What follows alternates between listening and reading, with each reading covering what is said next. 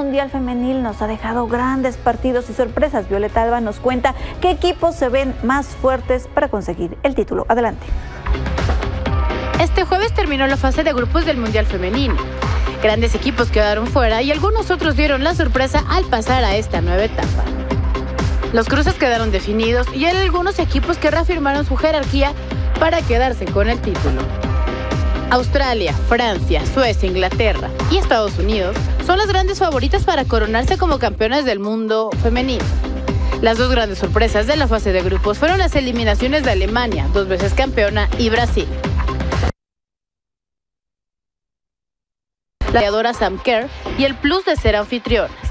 Las francesas tienen un equipo muy experimentado con jugadoras acostumbradas a jugar partidos de alto nivel y con Wendy Renner como estrella.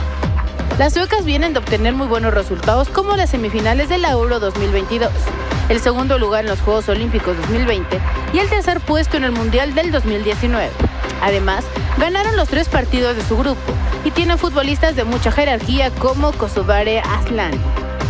Por otra parte, las inglesas son las vigentes campeonas de Europa y han sido finalistas en los últimos dos mundiales hicieron una fase de grupos perfecta y de la mano de su estrella, Keira Walsh, se ilusionan con alzar el título por primera vez.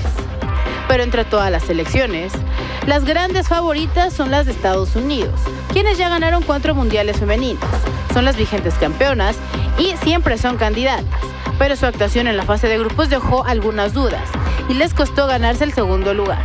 Alex Morgan es la gran figura de un plantel de primer nivel. Sin duda, han sido semanas de grandes emociones sobre el césped y seguramente en las etapas que quedan de esta competencia, el ritmo seguirá en aumento por el buen fútbol de cada una de las selecciones.